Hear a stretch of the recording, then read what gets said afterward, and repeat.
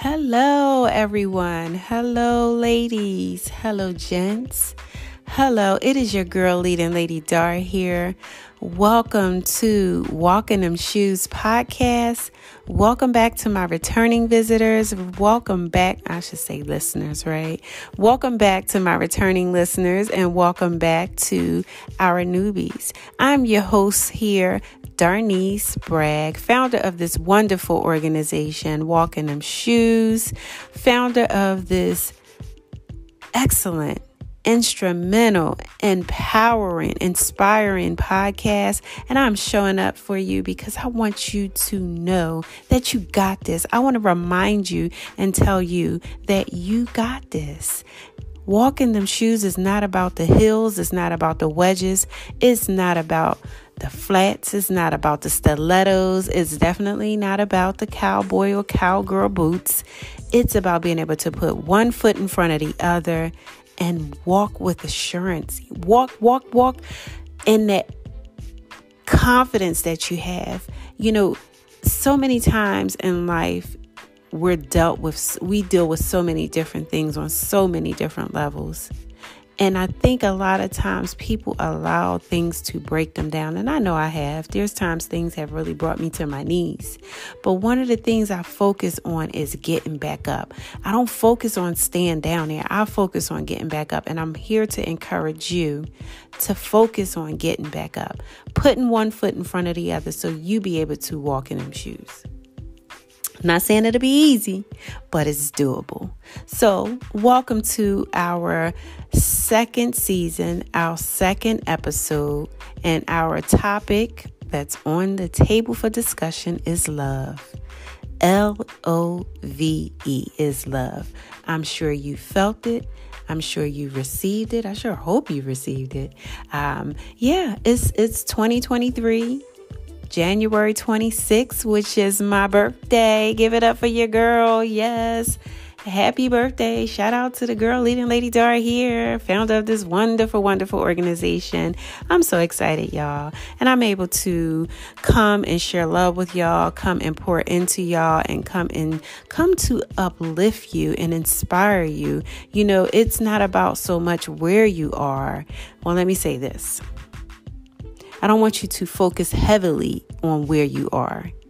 Because if you're going through some things, know that this too shall pass. I always talk about focusing on the journey and not the destination because we're going to arrive to that destination. We're going to get there, but focus on the journey. But reason what I'm what I'm saying to you now is focus on where you are, but not so heavily to the point that it weigh you down, that you can't move, that you can't walk, that you can't make progress. We need you to make progress, okay? We need you to move. We need you to walk in them shoes. So, we're talking about love, good people and I, I, wanted to talk about love. Um, I, you know, last year, um, and, and, and towards the beginning of, towards the end of the year, our last few episodes was talking about the three D's: uh, death, divorce, and I always forget division, death, divorce, and division.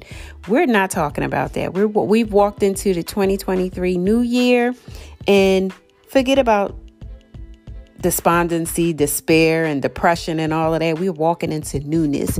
We're walking into the beautiful things that God have for us. We're walking into the beautiful things that we're creating and that we're building, and that you know, um, we is a possibility that we can enjoy, you know, more of the finer things now that we've divorced the pain of our past, and you know, uh, stop focusing on all the hurts and all of the things that happened or did not happen. in 2022. It is a new year 2023. So we're going to remain, we're going to remain consistent and showing up for ourselves, loving ourselves, and allow love to come into our lives. So, I want to share with you a story um, it was really touching when I heard this. It's it's it's, it's kind of biblical, but um, it has a principle. It has so many principles. It has a principle in it that's really meaningful, and you can take it away. You don't have to be a Christian. You don't have to be um, apostolic. You don't have to be a Muslim or Buddhist or anything like that to get the gist of this and get the understanding of it. Um, I went away this weekend to Atlanta, which yes is like my second home to me. Um, I love it in Atlanta, and you know, uh, I had a chance to, you know, everywhere I go, I'm always speaking with people, and, you know, whether it's sharing and giving words of encouragement or just listening just to get to know someone and getting to know how other people live. And at this beautiful hotel that I stayed at, very, very um, welcoming. It was so quiet. When I say it was so quiet and so peaceful, um, had a chance to, I had to come out my room uh, to get something. And when I came out to the front desk, um, well, let me say when I checked in, it was an older man there showing a younger guy the ropes.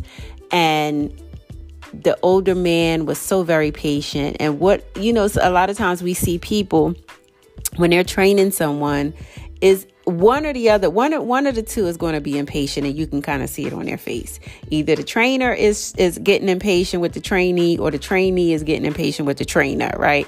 Um, but i just was recognizing and i just was noticing you know how the two were working together. So i picked that up when i first came in and then on my way uh, out again later on that night when i came back out the gentleman, the younger gentleman, was by himself. So I said to him, I said, Oh, I said, you're by yourself. I said, So you caught on. I said, You can handle it by yourself. He said, You know what? He said, Yeah, I got it.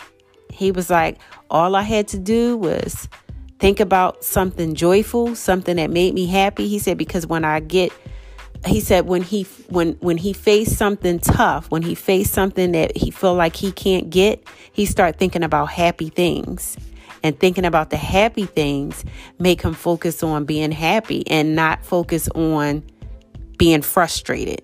I thought that was powerful, right? So take that home with y'all, okay? I don't know where you are, but take it, take it with you. You know, um, I th- really thought that that was good. Um, a good um, method that he had to, you know, learning something new. Um, but it, it got me to thinking about joy and peace. And, you know, that's where my mind is always at. Um, even in sharing and talking with my babies, uh, yeah, one of my grandbabies yesterday, we were talking about peace. You know, those are all of the good qualities that we should enjoy in life. And I'm telling you, if your goal is not going after peace, if your goal is not focusing on being peaceful, if your goal in life is not focusing on the joys in life, there's a problem. But there's also something else that you should be focused on. And I want to say it loud and clear love. I hope y'all hear me clearly wherever you are. If you're in your car, if you're in your bedroom, in your living room, you're on a job, I'm not sure where you are. But love is the topic of discussion. So let's get into it. I'm going to share this story, and here we go. I heard a story about a woman, a surgeon, and her husband. There was this woman who was married to this man, and they were kind of like a mid- middle aged couple. This man was disfigured in his face due to severe burns that he received trying to save his parents in a burning fire. And some of you may have even heard this, you know, listen to like some of the biblical biblical, um, listening to some of the uh, spiritual channels that I tune into. When I heard this story, it really, really, it, it got my attention immediately. Um, and I'll share in many ways and in many reasons why. Um, so again, you know, it's a couple, middle-aged couple. This gentleman was like, his face was disfigured due to having severe burns that he had received and trying to save his parents in this burning fire. Again, this couple was about middle age, right? Due to the burns on this man's face, he had become so withdrawn, so unhappy. This man and his wife lived a life of just traveling all around the world, just enjoying one another, just happy with one another, had plans on starting a family, raising children until that particular fire happened and that man had to go in and save and rescue his his parents. I don't even know the outcome of his parents' lives. It didn't even the story didn't even uh share that part. Um, but what's so amazing is towards the end of this story, and it's it's brief, so just stay with me. So here we are. This man now has this face that's burned, and he has become so withdrawn. He's so angry. He's so upset. Um, he's just distraught. You know, he's hurt, he feels alone, he feels ugly, he feels unwanted, and yet he has this wife, this beautiful wife that's by his side, stuck by him, nurtured him back to health. And, you know, but it's one thing to patch up the wounds on the outside, but really, it's those wounds on the inside that really, really does something to us, right?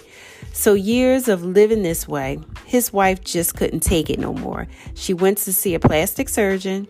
She told this surgeon all about her husband, right? She told him all about her husband's burns on his face, his pain, you know, his their disconnect because they he be, he had became so withdrawn that it separated them. It caused a little bit of disconnect.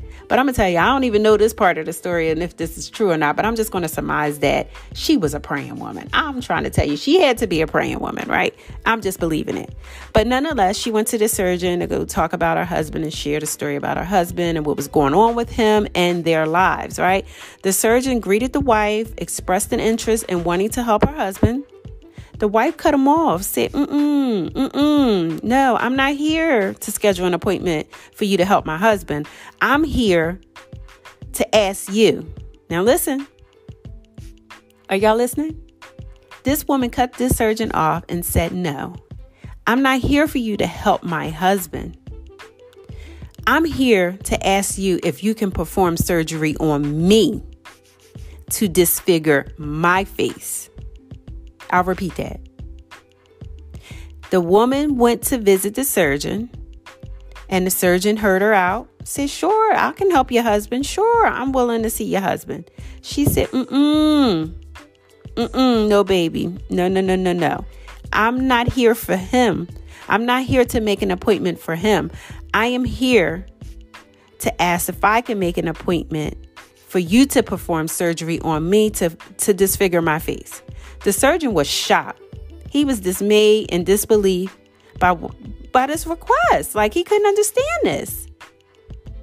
He said, Now let me wrap my head around this. You want me to perform surgery on you to disfigure your face? He asked the woman, Why would you want to do that? Grip your pearls, ladies. Gents, I don't know what you're going to do. But ladies, grip your pearls. She said, Because I love him so much, I'm willing to feel his pain and suffering. What? She said, Hold on. The surgeon asked, Why would you want to do that? She said, Because I love him so much and I'm willing to feel his pain and suffering. All right, y'all. Now I know God said. That's the end of the story, y'all. That's the end of the story. Well, no, no, no. Technically, really, it's not the end of the story because eventually the surgeon denied her request, but he did go to go see the husband. He went to go see the husband. And when he went to go see the husband, he shared with the husband that your wife came to see me this woman loved you so much that she came to see me to ask me to disfigure her face so that she can feel what you feel. She can relate to what you're going through. Mind you, this man stayed in his room, stayed isolated, isolated himself. There was such a disconnect, but this woman loved her husband so much. Y'all, now I don't know about y'all. I don't think I would have went that far, but I know the word of God says love one another, right? oh God, that's deep. God's word tell us to build each other up. And I'm doing that on this podcast. I don't know if y'all doing y'all work. I don't know if y'all doing the work for the Lord. I don't know what y'all doing. I'm not getting ready to go make an appointment with a surgeon and tell the surgeon to disfigure my face. But I will say on this podcast that I'm here to build you up and love you and love you and usher you into into greatness okay um, but the moral of that story is love i mean that's deep rooted that's real some that's some real deep love Oh my goodness, who sang that song? Never knew love like this. Is that my girl? That's my girl Stephanie, right? I'm not sure. Okay, let me, I'm getting off topic. All right, y'all, let's get back on it. So, love. What is love to you? Even though, in a biblical sense, God says, love your neighbor, you know, love your spouse, love your significant self. But most importantly, you have to love yourself. Now, this is where I'm going with this. I want you to love yourself. Love yourself enough, one, to know that if there's a change that's needed in your life, that you're willing to make that change to make life better for yourself. But I want you to have enough love for God. Allow God to heal you so that you can love Allow God to heal you so that you can love. And I'm saying it again. Allow, allow God to heal you so that you can love because love is truly what make the world go round okay and i'm not just saying that because it's a song one love feels good you know and if we don't love ourselves we're unable to love anyone else and that's just the bottom line i'm gonna tell y'all with my clothing brand, Wits Brand Apparel, one of my favorite tees was Love to Love. And I made that shirt because I love to love. And I felt like love heals a lot. Okay? Whether you're young, you're old, middle age, love heals. You know, and a lot of times, this podcast, Walking Them Shoes, Inspiring Women to Blaze the Trail to Success, is about healing. It's about love. It is about helping yourself so that you can help others. So once you help yourself, then you can help someone else. Once you love yourself, you can love someone else. But there's steps to this. And the first step is you have to heal the hurt and the pain of your past. You know, in the last few episodes, I talked about um, uh, I talked about divorcing the pain of your past. You have to stop allowing that to weigh you down. You have to stop allowing that hurt from your past to weigh you down. You have to heal.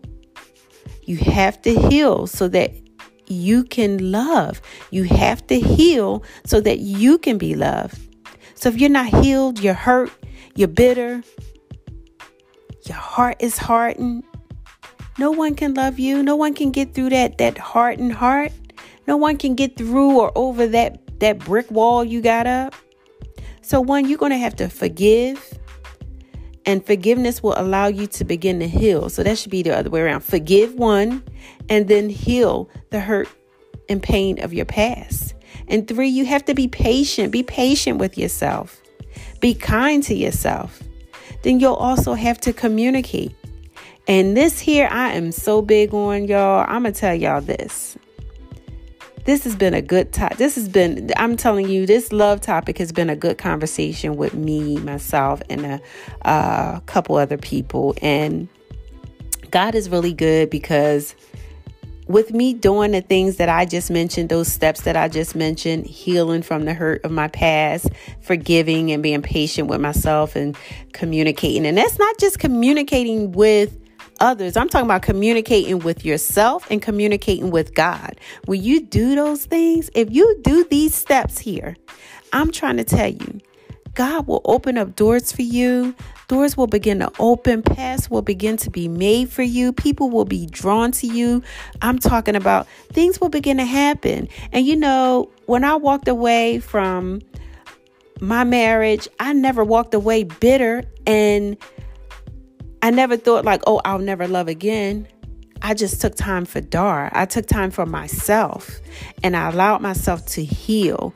I forgave. I was patient with myself. I communicated with myself. Y'all would have thought that I was crazy. I was communicating with myself so much, but I was also communicating with God. I invited Him in those, this circumstance. I invited Him in those circumstances and allowed Him to guide me.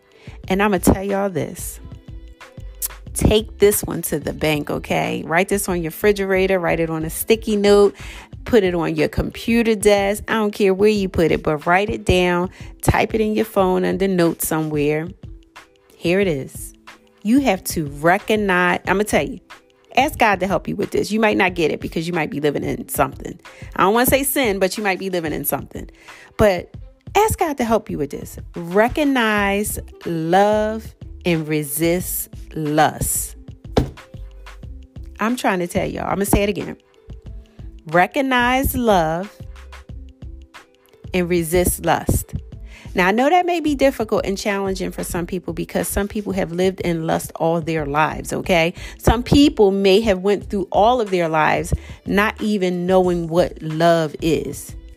But it starts with you.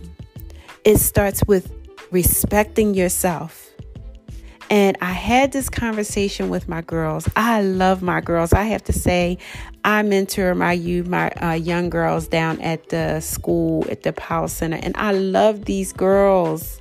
These girls are my babies. When I say I want to do this full time with them, I, I hands down, I really would. I would do it full time. I love them, but I want y'all to um know that and having discussions with my younger girls group, my um, my my uh, girls that my mentees, my girls that I mentor, you know, I teach them how to love themselves, how to uh, recognize love and healthy relationships and setting healthy boundaries. It's so important. I don't care if you're 30, 40, 50, 60 years old.